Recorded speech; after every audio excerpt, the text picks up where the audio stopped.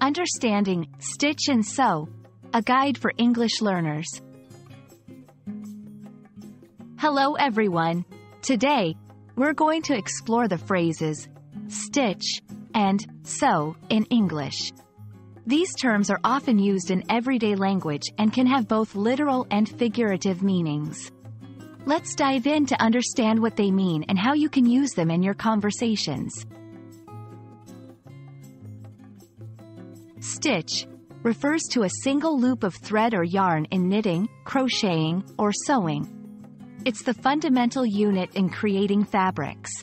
When we say, I need to stitch this tear, it means using a needle and thread to repair a small hole or rip in a piece of fabric.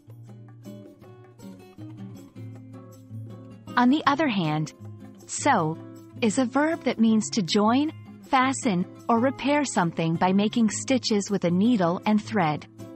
For example, I will sew a button on my shirt, indicates the action of attaching a button using thread and needle.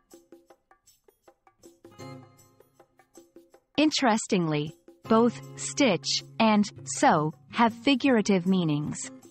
Saying, to stitch a story together, can mean creating a story by connecting different pieces of information. Similarly, to sow seeds of doubt implies planting doubts or uncertainties in someone's mind, like planting seeds in the ground. There are several idioms and phrases using these words.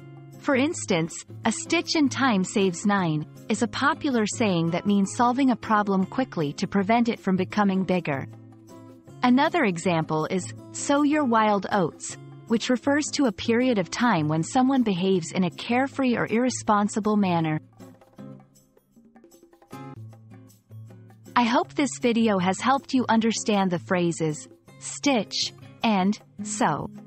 Remember, English is full of interesting idioms and expressions that can add color to your conversations.